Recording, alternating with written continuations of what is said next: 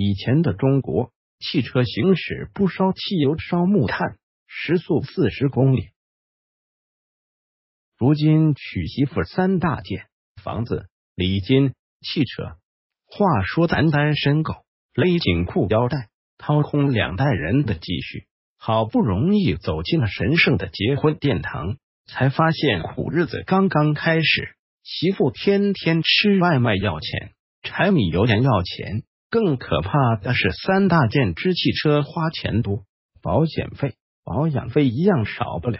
最怕听到的新闻。就是油价又涨了，但今天我要带着大家回忆一下过去，看看当年有车一族不烧汽油、烧木炭的日子。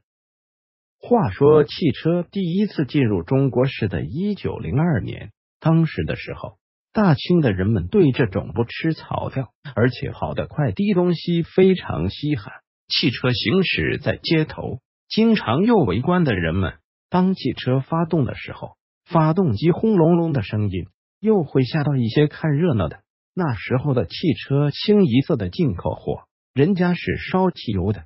由于中国当时不产石油，因此所有的油料也是进口的。慈禧太后也是一个赶时髦的主，作为女人，她的好奇心还是很强的。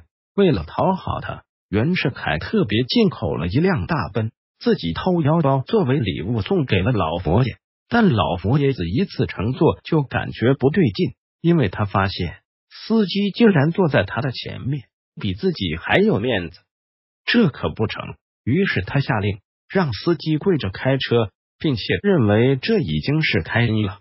结果可想而知，司机这手上下忙活，脑袋既要照顾前方道路，又要看下面的油门和刹车。差点出了车祸，后来这辆车就闲置下来。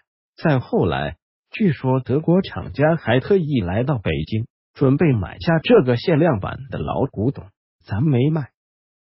时代脚步走得快，到了三十年代，汽车在中国已经非常普遍了，但依旧存在着巨大难题，这就是缺少汽油，车开不起啊。